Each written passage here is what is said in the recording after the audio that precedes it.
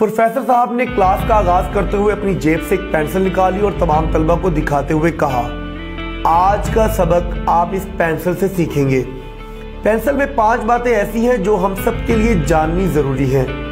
وہ کیا سیر سب نے تجسس سے پوچھا، پہلی بات، یہ پینسل عمدہ اور عظیم کام کرنے کے قابل اس صورت میں ہو سکتی ہے جب وہ خود کسی کے ہاتھ میں تھامے رکھنے کی اجازت دے۔ دوسری بات ایک بہترین پینسل بننے کے لیے وہ بار بار تراشے جانے کے تکلیف دہ عمل سے گزرتی ہے۔ تیسری بات، وہ ان غلطیوں کو درست کرنے کی اہل رکھتی ہے جو اسے سرزد ہو سکتی ہیں۔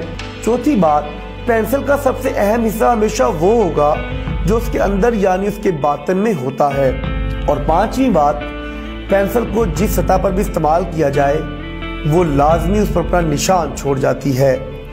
چاہے حالات کیسے ہی ہوں اب آپ اس پینسل کی جگہ اپنے آپ کو لے لیں۔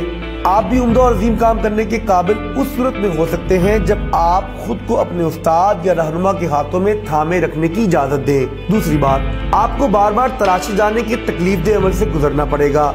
یہ مراحل دنیا میں زندگی کے مختلف مسائل کی صورت میں آپ کے سامنے آئیں گے۔ ایک مضبوط فرد بننے کے لیے آپ کو ان مسائل کا اچھے طریقے سے سامنا کرنا ہوگا۔ تیسری بات یہ کہ اپنے آپ کو ان غلطیوں کو درست کرنے کے قابل بنائیں، جو آپ سے سردرد ہو سکتی ہیں۔ چوتھی بات، ہمارا سب سے قیمتی اثاثہ ہمارے اندر ہے، ہمارا باطن ہے۔ ہمیں اسے کسافتوں اور علائشوں سے بچانا ہے۔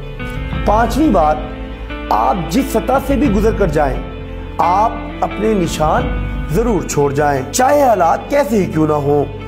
اس یقین کے ساتھ زندگی بسر کریں کہ اس دنیا کو آپ کی ضرورت ہے، کیونکہ کوئی شاید فضول اور بے مقصد نہیں ہوتی۔